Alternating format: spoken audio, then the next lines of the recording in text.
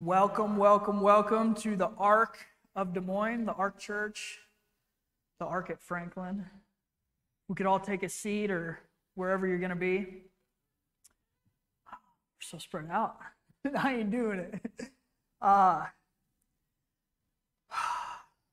we're going to go after a stronghold this morning. Uh, definitely.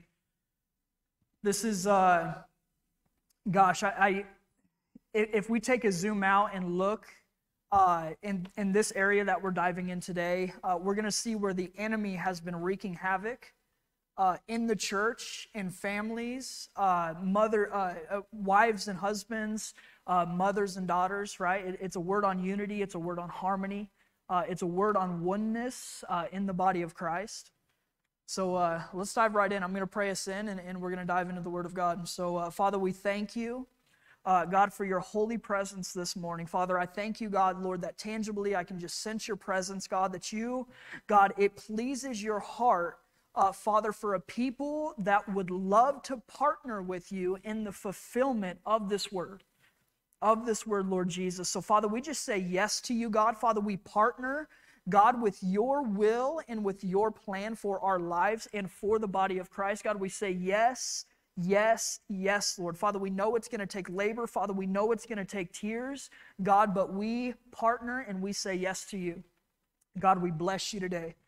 In the mighty name of Jesus. Um, I'm going to start in Ephesians chapter 2. It's the it's the same section of scripture that Lee was in last week. Uh, he touched on different parts of it, but we're going to dive a little bit deeper into uh, so, some prophetic insight I was seeing in uh, this section right here.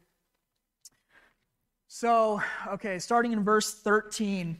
But now in Christ Jesus, you who were once far off have been brought near by the blood of Christ. For he himself is our peace, who has made us both one and has broken down in his flesh the dividing wall of hostility by abolishing the law of commandments expressed in ordinances that he might create in himself one new man in the place of two, so making peace and might reconcile us both to God in one body through the cross, therefore killing the hostility. So what, what he's talking about in this section of scripture, it's there was a dividing wall, and I think John uh, dove into it a little bit. But what he's talking about is the it's it's the covenant that was given to the Jewish people, but it wasn't given to the Gentiles at that time or the non-Jews. So what he's speaking of, it's the it's the cultural divide between Jew and Gentile, right? And it says that through through the body and the blood and the sacrifice of Jesus Christ, when he came, he actually, we can see in Acts 2 when he sends uh, someone to the house of, I think it's Cornelius, right, who was a Gentile, and he received the Holy Spirit. And then they had the revelation like, oh wow this this promise is for the gentiles also right it's not just for the children of israel right it came first to the children of israel but when jesus came he made two man two men into one right? Into one. But I, I want to touch on something. The Lord was showing me prophetically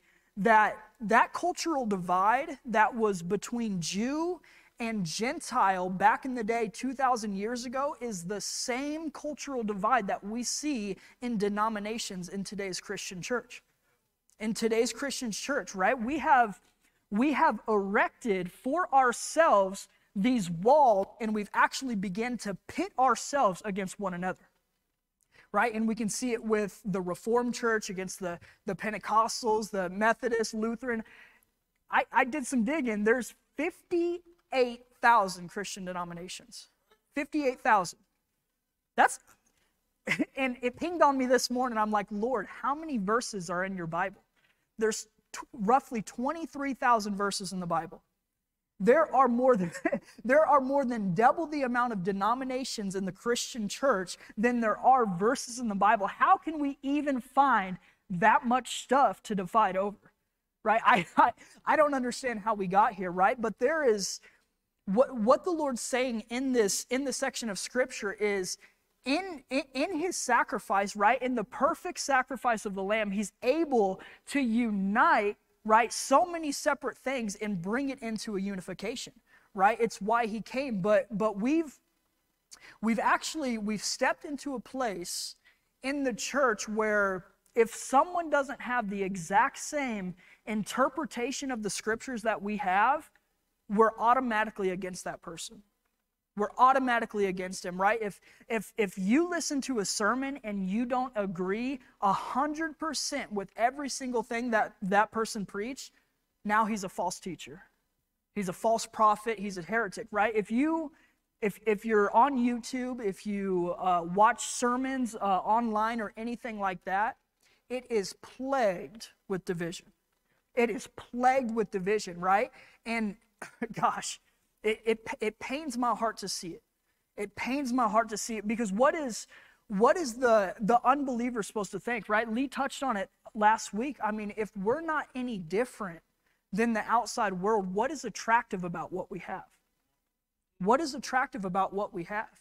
You know what I'm saying? And it, it, the, the enemy has, he's put his grips inside the church, right? And ultimately, that's why we see culture being the way it is. You know what I'm saying? We don't, we don't see unity in marriages. We don't see unity in the church. We can't partner uh, w- with the advancement of the gospel, right? And we've, we've found ourselves picking each other apart and we've stepped, it's friendly fire, honestly. It, it, it is friendly fire. And I feel like it's, it's, there's so many paths to go down, right? And I, I'm just trusting in the Lord to articulate and speak to what He wants to speak to. But there's a, there's a right way and a wrong way to enter into a discussion about different interpretations of what we read in the scriptures. There's a right and a wrong way to do it, right? And I believe for, for a long time that we have been we have been dancing around the right way to do it, and we've actually pit ourselves continually, continually against one another. Right? So, gosh, Lord, give me, give me insight. Father, lead me. In Jesus' name. Come on, in Jesus' name. There's, there's so much. Come on. I, I, I spoke the word earlier about clarity in the mind. I can feel the enemy trying to trying to stop the word. You know what I'm saying? Trying to trying to plug it up, trying to block it. Right? So there's there's hostility there's hostility in the church, right? And it says through his cross, he came and he broke that thing down, right? It's the it's the same sacrifice that we have to make to be able to see unity in the church, right? Jesus Jesus's price, it, it, it was enough to bring us together. But we have to step into that and, and pay that same price. That's why we see it, right? That's why we're not connected. That's why we're not unified and on the same front, right? We've stopped making about making it about the gospel of Jesus Christ, and we've moved into uh, if your interpretation isn't good, I'm not gonna I'm not going to stand by you, right? We, we get caught up on, you know, do you believe in the gifts of the Holy Spirit? Do you not? Do you believe in post trib rapture or do you not? You know what I'm saying? Are you post trib? Are you pre trib? And, and something, gosh, and I've had to check my own heart in this. You know what I'm saying? I've, I've found myself, right, with this righteous frustration welling up in me when I, when I talk to somebody that, say, um, like a Calvinist or something that doesn't believe a lot of the, the Pentecostal, uh, charismatic uh, viewpoints of the scriptures, even though it's in there. And, and I, I just, I feel like, gosh, I feel like there's a struggle to be able to relate and to be on the same playing field. But this man sitting across from me, he believes that Jesus came. He believes that Jesus died, right? Was buried for three days. On the third day, he rose and that he's resurrected and seated at the right hand of power. That is the qualification, right, to become a believer. It says, confess with your tongue that Jesus is Lord and believe in your heart that God raised him from the dead and you will be saved.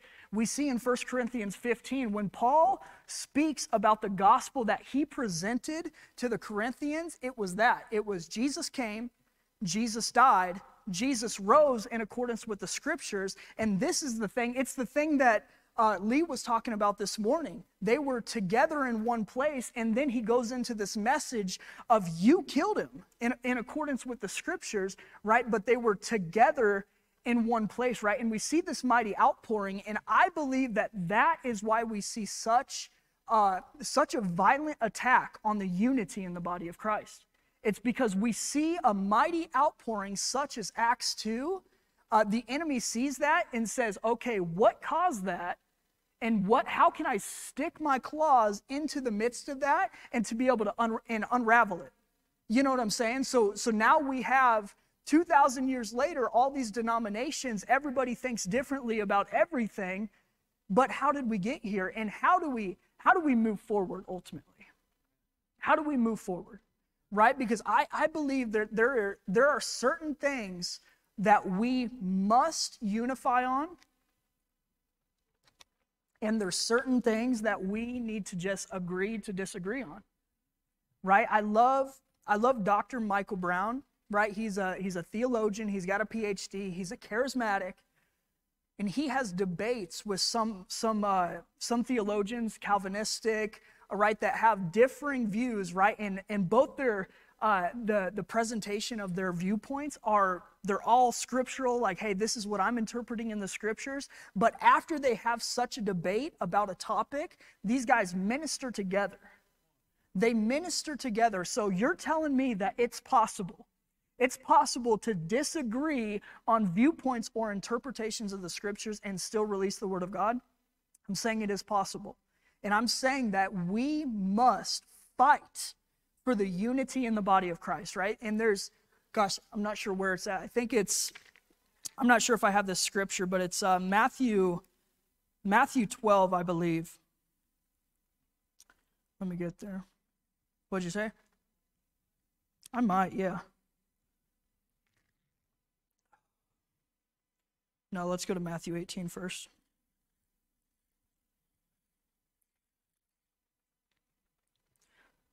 So we see in Matthew 18, right, there's, there's a brother sinning against you, and I, I don't think I'm going to get into that too much.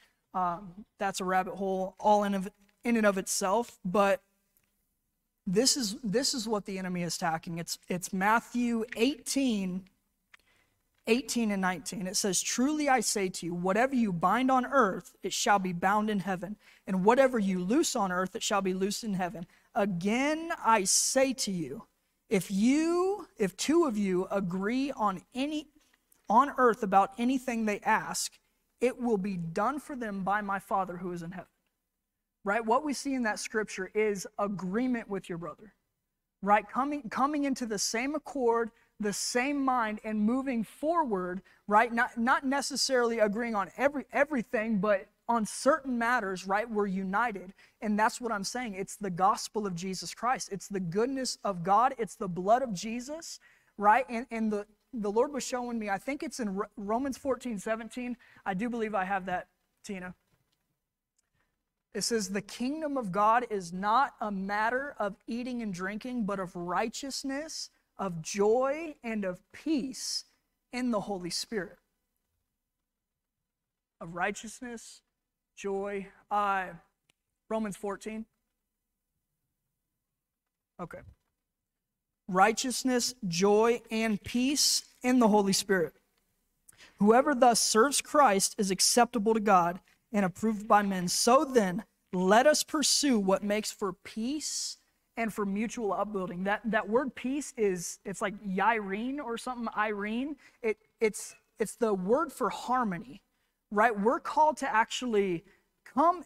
It's, it's hard to do. It's not an easy thing to do with so many different personalities and characteristics in this. I mean, even in the, the 30, 40 people that are in here, it is tough to come into a body of people and to harmonize fully with one another. It's, it's a tough thing that you got to do, but you have to fight for it. How many husbands and wives agree on everything or have the same interpretation or outlook on everything? You know what I'm saying? Like that is it's something it's something that you have to strive for, right? It says in uh, Hebrews, I believe it's chapter 12. It says, "Strive for peace with everyone." with every single person, right? It says, Blessed, uh, blessed be the peacemakers, for they shall be called sons of God right? So there's there's an aspect to having a, a, a, willingness and a hunger in your heart to go about making peace in any situation that the lord recognizes and he approves it right? We make peace. We don't it, it, there's a it's proverbs 6 uh, theologians call it a climactic verse. Uh, it's a buildup And when you get to like the end verse, like that's the thing the Lord is most uh, sticking is or trying to trying to make the point of. It's Proverbs six. Let me get to it and read it to you.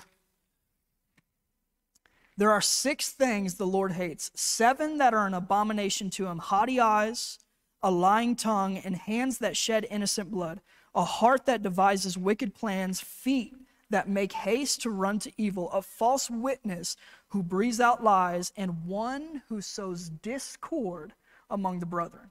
Discord among the brethren, right? There's always going to be an element of, uh, of division uh, amongst the church, amongst it, not, not in it, right? Because those that are truly marked by God, those are the ones that are actually chasing and pursuing what, what is peace and what is full of, right?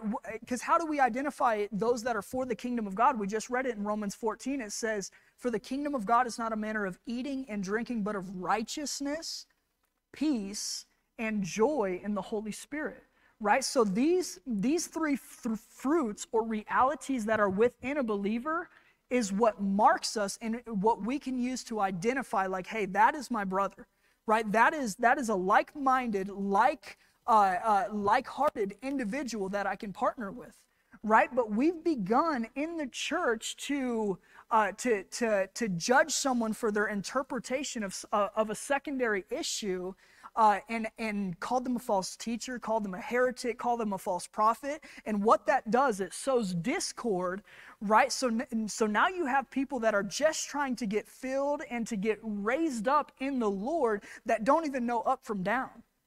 That don't even know up from down. Romans 14 speaks to, it speaks to an issue uh, that Paul's addressing, right? It, it's an issue of, of food right? Because the Lord declared all food clean, but there was some people in their midst that didn't believe that they could partake and eat of certain foods. But Paul says that he is convinced and persuaded by the Lord that all things are good if they're to be received with praise and thanksgiving. But he says in Romans 14:1 it says as for the one who is weak in the faith welcome him but not to quarrel over opinions.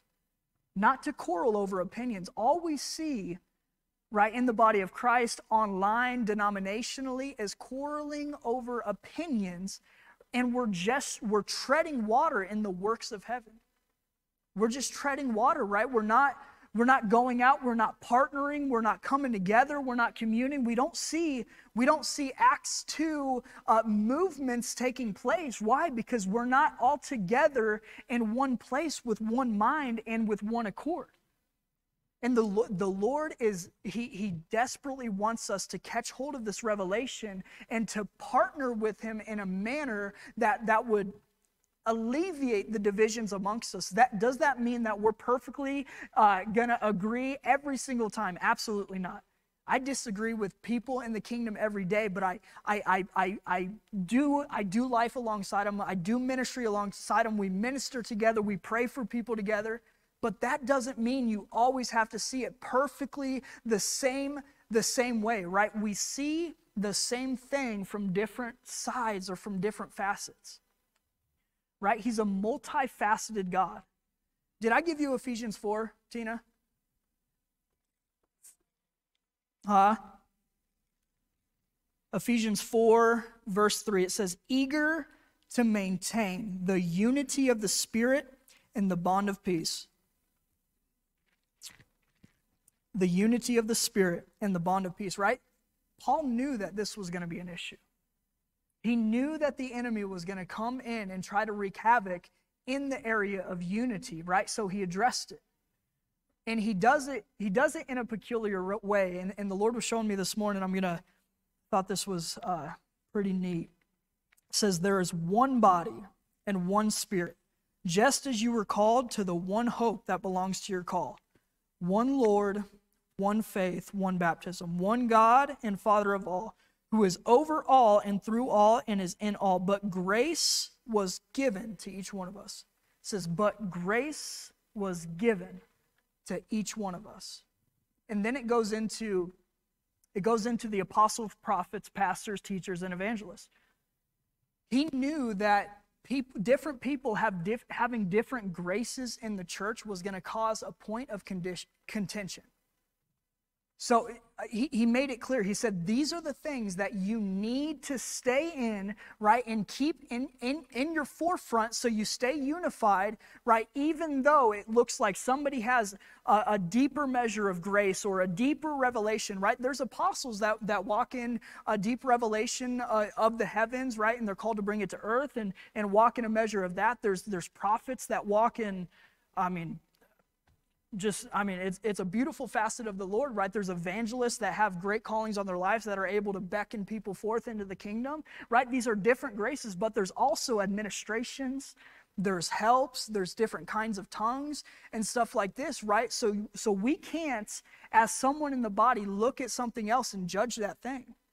We can't judge it right? Just because it's not uh, the the thing that we're walking in we can't sit there and judge that thing right? We have to decide in our heart to fight for unity in the body of Christ. We have to fight for it, right? The enemy has spent years and years and years, centuries, right, dismantling the unity in the body of Christ. He's been dismantling it for 2,000 years. See, there's things called there's things called salvific issues, right? Salvific I think that, yeah, I think that's how you say it, salvific.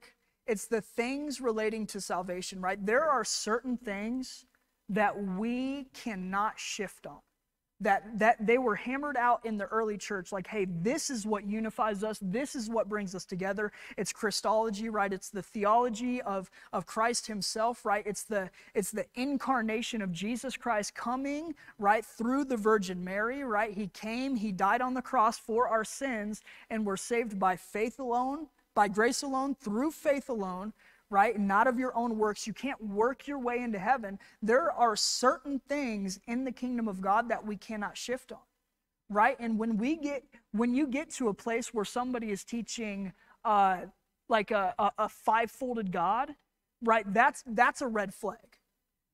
that's a, you know you're you're talking about a five-headed uh, God. No, we we believe in a triune God, right? It's, it's the theology of triunity. It's a triune God, Father, Son, and Holy Spirit, three separate persons in one, in one Godhead ultimately.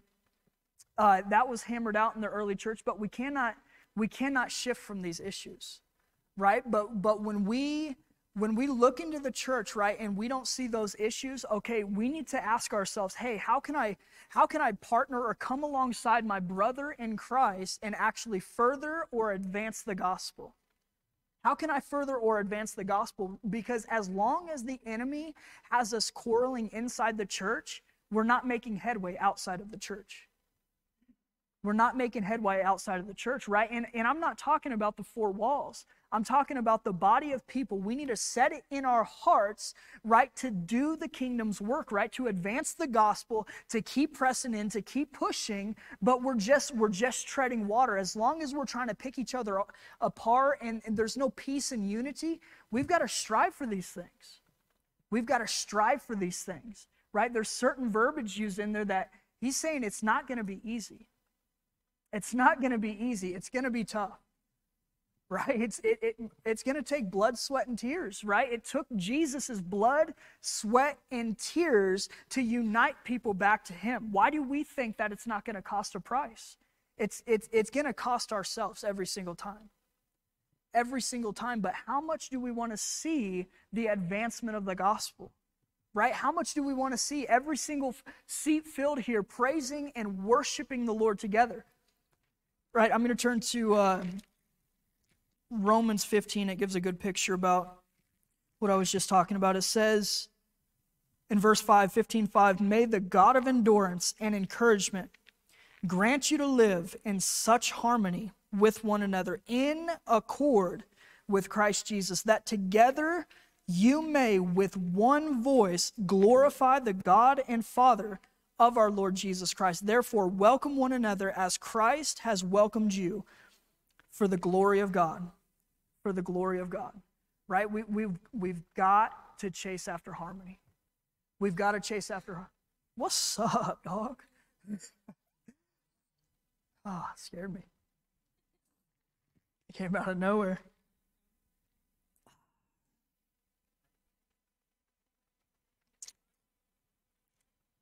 That uh, verse in Galatians, Tina? Galatians 5.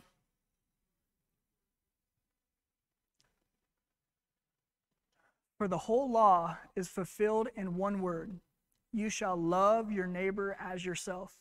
But if you bite and devour one another, watch out that you are not consumed with one another. Right? Galatians 5 14 and 15. In the same section of scriptures, it talks about the work of the flesh. And in that, it has three facets of what we're talking about this morning it's dissensions, discord, rivalries, envy, stuff like right in sexual immorality, idolatry, covetousness, stuff like that. But it says, For the whole law is fulfilled in one word, in one word. You shall love your neighbor as yourself. But if you bite and devour one another, watch out that you are not consumed by one, one another.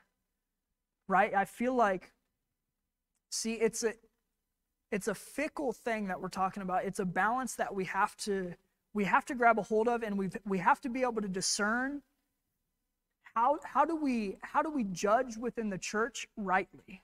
Because we are we are called to judge right? But that word has a negative connotation. It always has right? And i believe that's the work of the enemy as well right? The the we don't judge people outside of the church. We judge within the church because there's a standard of living in righteousness that has to take place within the body of christ right? It's holiness that exists within the church, right? We are the temple of the living God. It says, be holy as he is holy, right? So this, this standard of righteousness, we, it, we weed stuff out by identifying it and uh, ultimately how, how the bible discern, uh, depicts it is it talks about two different natures right it says we turn to 1 corinthians Second Corinthians 6 6. Thank you. The, uh, do not be unequally yoked with unbelievers. For what partnership has righteousness with lawlessness, or what fellowship has light with darkness? What accord has Christ with Belial, which is Satan? Or what portion does a believer share with an unbeliever? And what agreement does the temple of God have with idols? Right? So what these these are like four different uh, depictions of intimacy between things, right? We're called to be intimate with one another, right? It, it the it's fellowship, it's koinonia, right? It's this it's this deep intimacy that we've seen in Acts two, right? But the Lord is the Lord is addressing two different natures that have to be weeded out. It has to be weeded out, and he actually he goes as far. I'm not sure if I'm going to preach on this today, but he goes as far as expelling people from among you for living in an unrepentant state and living in sin in your midst. Right? There is a there is a holy and a righteous standard within the church that I believe we forfeited, right? And we have to pick it back up. But if we're going to the Lord was showing me yesterday, he says we've been reproaching one another for centuries, reproaching one another. We've been passing judgment uh, for the sake of judgment's sake, right? For, for, for disgracing, for shaming sake, uh, and just, just to have the upper hand, right? It's that, it's that word. If you bite and devour one another, watch out that you are not consumed with one another. But what the Lord calls us to do is reprove one another right? There's reproach and reproof. One is condemnation, and one is speaking the truth in love for the mutual building up of one another.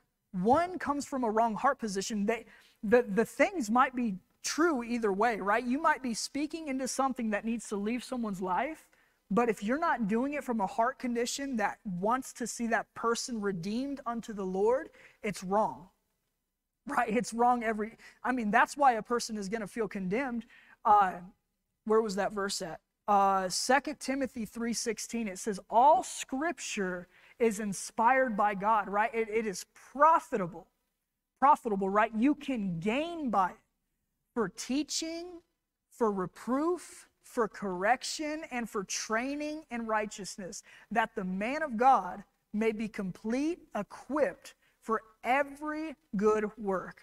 Right? There is a righteous standard in the church, and it's called the Word of God right? And the way that we wield that in the church is by placing in front of someone, right? Showing someone like, hey, you're you're falling short. There's a better way and a better place uh, that you can be at. How can I help you to get there? It's it's what Christ did for us. He came, he met us, he laid his life down so we would actually step into and walk into a place of freedom.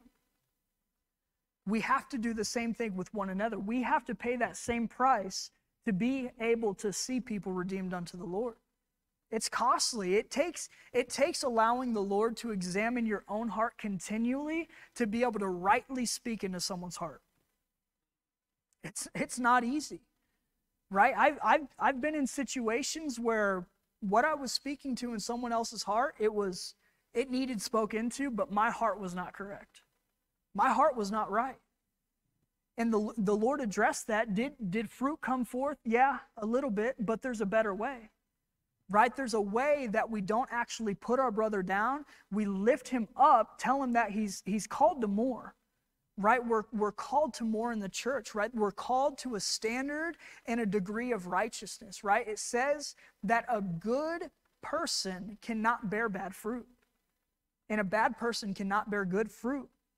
So, as long as we continually judge different interpretations of the scriptures, and I'm not talking some wacky, far out stuff. I'm talking just something that you don't see uh, as, as, as the same as someone else. As long as we say that person is a false teacher, uh, a heretic, a false prophet, we actually we sow discord in the church, right? But but if their lives are bearing the fruit of righteousness, joy, and peace in the Holy Spirit, we have no right to sit here and judge a man's heart.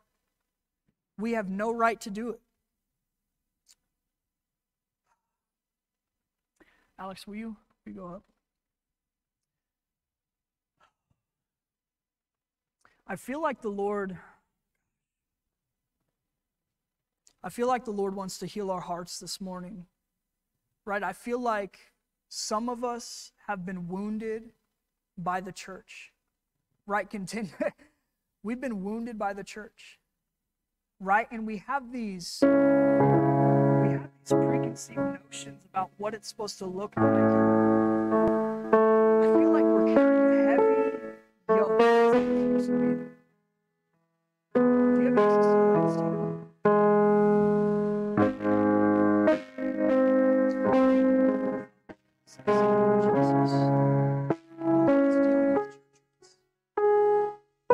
Dealing with bitter roots today. Bitter roots that would to